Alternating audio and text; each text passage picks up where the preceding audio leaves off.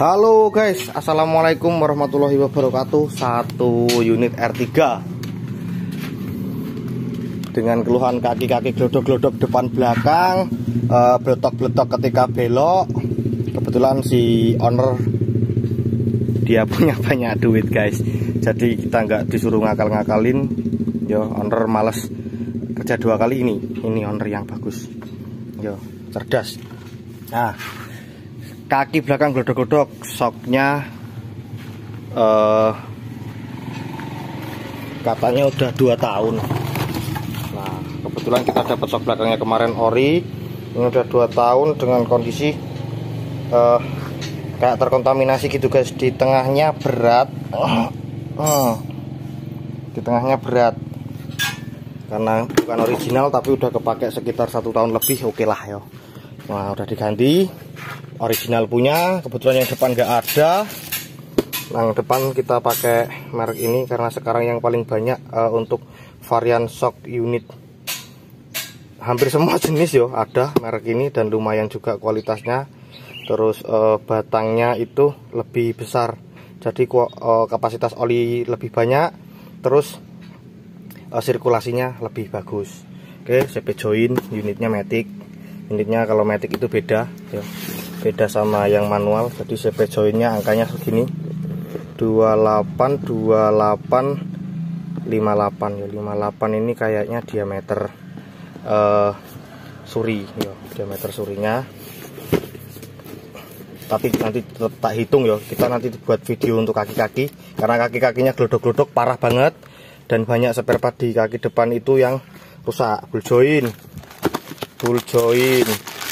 Kanan kiri rack end kanan kiri ini filter udara dan sebagainya. Nah ini yang mau saya kerjakan dulu. Yuk kita bakal tune up dulu. Kaki depannya nanti setelah tune up tak buatin video lagi.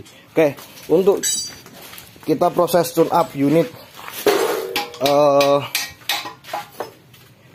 R3 Suzuki R3 yo katanya mulai lemot. Nah kalau lemot kita coba periksa semua seperti biasa yo. Dari fuel rail sampai ke belakang kalau ada fuel pump out tank kita malah eh, nggak begitu repot. Kita bisa ganti filter out tanknya dulu. Kalau mas dirasa masih kurang kita baru masuk ke dalam tangki. Oke? Okay? kondisi mesinnya rembes semua. Kita bakal ganti uh, valve cover yo. Gasket valve cover kita bakal ganti atau perpak tutup klepnya terus ya pokoknya pekerjaan tune up seperti biasa kita lakukan oke? Kita langsung aja ke belakang. Kita langsung ke belakang kita ambil dulu filter BBM nya nah, filter BBM nya di sini seperti unit-unit lain cuman bedanya e, meskipun dia high pressure tapi nggak pakai pengunci model baut atau klip gitu. Masih pengunci model lama pakai klem-kleman. Jadi lebih mudah untuk nyopotnya. Tak copotnya dulu. Ini lokasinya di sini tuh ya. Oke kelihatan? Di samping tangki di bawah pintu di bawah pintu penumpang sebelah kiri. Oke tak bongkar dulu tak copot dulu. Kita lihat apa isinya. Oke next. Uh, udah berhasil dicopot uh, bentuk filternya sendiri seperti ini. Untuk filternya seperti ini. Nah, belum pernah dicopot sama sekali dari bawaan pabrik. Ya dari unit waktu masih baru. Kita getokin dulu kita lihat. Kalau memang udah kotor parah ya udah ganti ya. usahakan kalau filter BBM jangan pernah dibersihkan. Ya karena kalau kita bersihkan itu pasti semprot bolak-balik ya. Semprot bolak-balik. Kalau misal mau dibersihkan semprot satu arah ya semprot balik dari sini arah e, keluar. Outnya mana? Nih. Ini outnya kelihatan? Nah ini out. Berarti dia keluar. Ini masuk dari dalam tangki. Yo, semprot satu arah. Karena e, kotoran dari tangki itu pasti masuknya ke sini. Ya kan? Ngendapnya di sini di pertengahan ke belakang sini. Kalau kita semprot dari sini kotoran ikut ke sini. Harusnya kita semprot dari sini satu arah. Terus biar dia keluarnya ke belakang ya oke. Okay. ambil kedok ketokin gini. Kita lihat apa isinya oke. Okay. ya.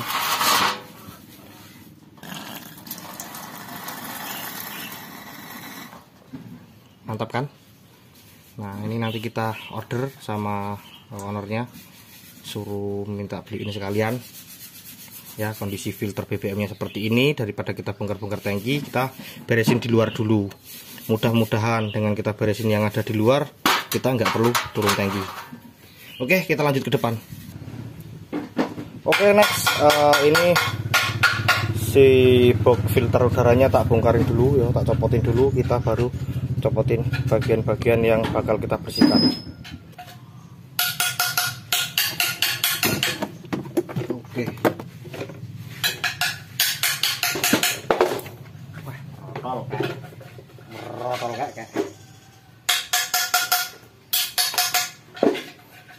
Oke kita bisa lihat si kondisi filter udaranya ya ini udah mau dibongkarin kan karena dalamnya kotor banget.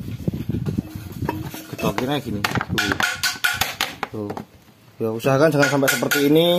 Sebelum uh, kita dapat sebelum kita dapat trouble yang nantinya bikin repot kalian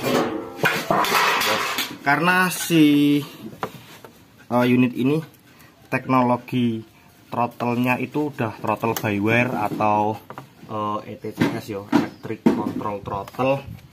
Jadi usahakan rajin nanti filter udara yo jangan kalau filter itu jangan dibersihin guys. Kalau filter usahakan jangan dibersihin usahakan diganti ya. Supaya uh, kebersihan internal engine-nya itu terjaga supaya unitmu awet. Supaya supaya ya enak dipakai gitu loh. Saya tak copotin ini susah nih kabelnya nih. Oke okay, next. Uh, kabelnya udah pada copot semua throttle body udah tak kendorin bautnya kita tinggal copotin throttle bodinya oke okay. seperti ini kondisi throttle body. Nah untuk throttle body jenis ini beberapa kali saya sampaikan uh, jangan takut-takut untuk membersihkannya yo. Terus kenapa cerewet? Filter udara harus rajin ganti supaya throttle body uh, throttle valve-nya supaya nggak kemakan kayak unit-unit Grand Max gitu ya. Nah, misal terjadi RPM tinggi setelah kita bersihkan si throttle valve, itu ada banyak faktor. Mulai motornya macet mungkin dari sananya macet deh nih. Ini masih ringan. Oke, motornya masih ringan. Kalau misal terjadi RPM tinggi kemungkinan si uh, throttle valve-nya ada rongga sama kayak unit-unit lain kita bisa buat si koinnya. Kalau ada beli-beli yo ini kan model ada baut nih harusnya ada beli throttle valve-nya. Kalau untuk unit lain biasanya keling di sini. Kalau yang di sini keling di paku model kayak ripet gitu pasti nggak ada jualnya dan nggak bisa dicopot kan? Jadi kita harus akal-akal kita harus ukur diameter dalam kita harus buat koinnya. Dan koinnya itu harus sama dengan diameter luar sini bagian sini ya. Jadi kalau misal di sini 52 koinnya harus 52 jadi nanti kalau dipasang ketika kita tekan gini rapat. Nggak ada rongga. Ini masih kotor. Nanti kita lihat kalau udah bersih. Ya kalau udah bersih aman apa enggak doain aku nggak nggak lupa ya. Nanti kita lanjutin oke aku tak tinggal nyopotin uh, injektor.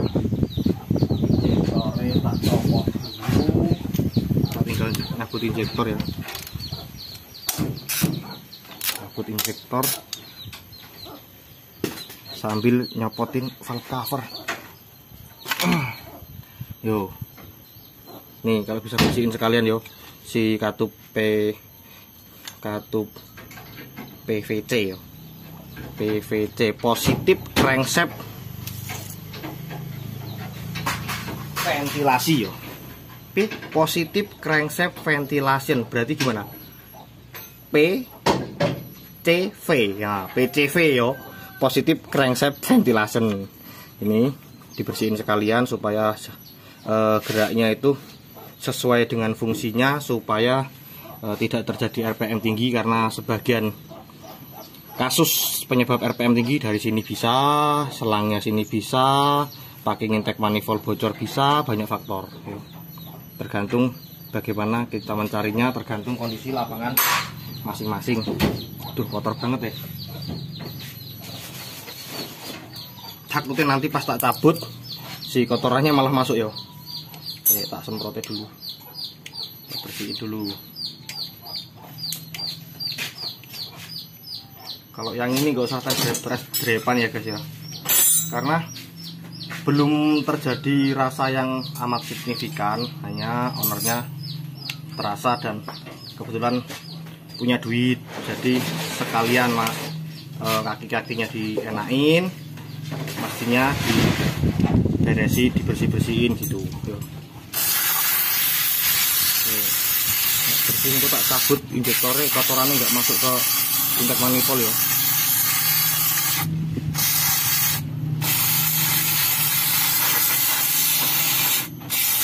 Saya nanti kerjanya juga enak. Oke. Video ini panjang nggak apa-apa tapi nggak usah di test drive atau nggak usah coba sampai nyala ya. Karena belum belum ada gejala yang bisa dilihat atau bisa dirasakan dengan video gitu ya. Kalau yang ada dirasakan dengan video pasti tak buatin. Nah, kalau yang gini-gini nggak usah. Yang penting cara-caranya dan uh, informasi untuk kasus-kasus serupa. Kemungkinan ada samaan. Oke kita lihat dulu injektor bersih semua ujungnya. Fake otomatis si injektor nggak ada bocor yo. Karena unitnya masih baru juga. Jadi kalau uh, kemungkinan injektor bocor atau start panjang pagi hari atau start panjang ketika mesin dingin itu enggak belum muncul. Jadi ya wes ini aja dulu. Ini tak copotin dulu. Nanti kita lihat bareng-bareng ya. Tak cabut koilnya dulu. Oke next uh, ke sini fokusnya koil kita cabut. Nih udah mulai ada basa-basa oli. Mas koil nggak ditandai nggak usah ya guys. Ini ada mulai basa-basa oli. Mudah-mudahan aja koilnya nggak bocor ya. Karena luarnya udah udah bocor parah sih. Luarnya udah bocor parah. Uh, valve covernya yo atau perpak tutup klep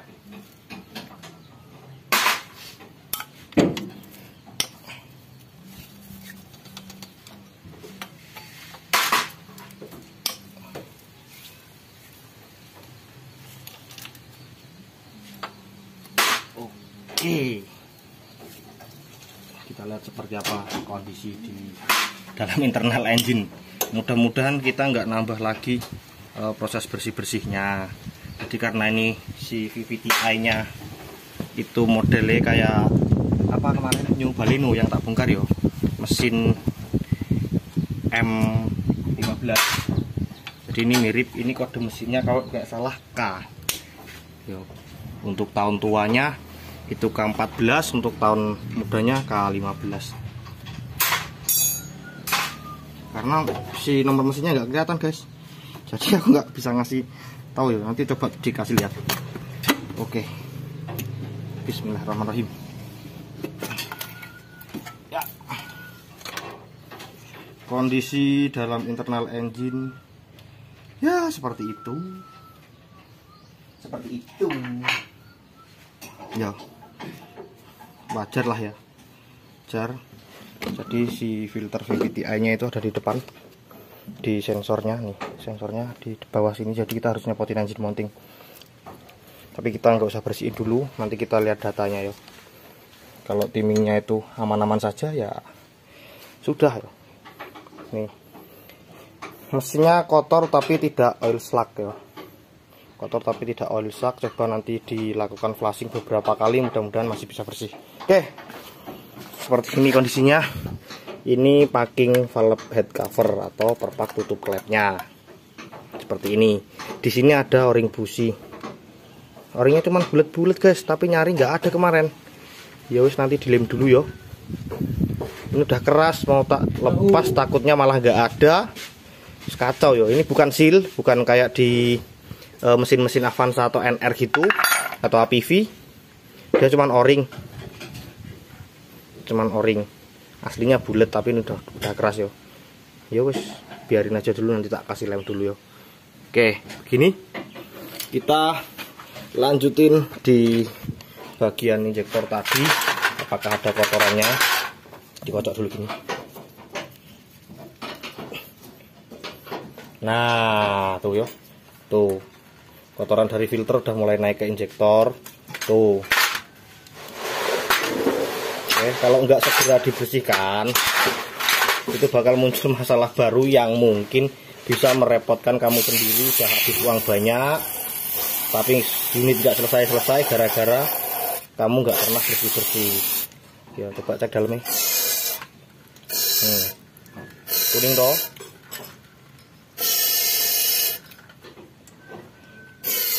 Karena dia nggak pakai full retrun yo. Nggak pakai full retrun modelnya si fuel railnya. Hanya ada satu pipa masuk. Ketika kotoran dari fuel tank atau dari fuel filter itu masuk ke sini nggak bakal bisa keluar. Harus dibersihin manual. Oke gini. Terus aku tak bersih bersih aku tak bersih bersih informasi uh, tentang pekerjaannya seperti ini dan informasi tentang perawatan yang harus kalian jangan lupa ya ini ya ini. Oh belum tau guys. Tuh masih mulus kok. Si dindingnya. Dindingnya masih mulus ya wes enggak enggak tak lanjutin. Kalau ada rongga nanti tak lanjutin. Enggak. Walaupun enggak video panjang tak lanjutin video pendek untuk proses kita ganti uh, throttle valve. Ya. Pokoknya jangan takut. Tetap semangat. Tetap semangat rajin belajar. Oke. Oke aku tak nyuci-nyuci dulu tak nyuci-nyuci dulu nih udah mulai habis. Part grand nya udah mulai sebagian terpasang. Dikerjakan langsung oleh mekanik handal Mas Bayu dan Om Heri. Oke sekian dulu dari saya. Semoga video kali ini bermanfaat. Saya Arif Bayu Wicaksono yang bertugas salam mekanik desa paling konyol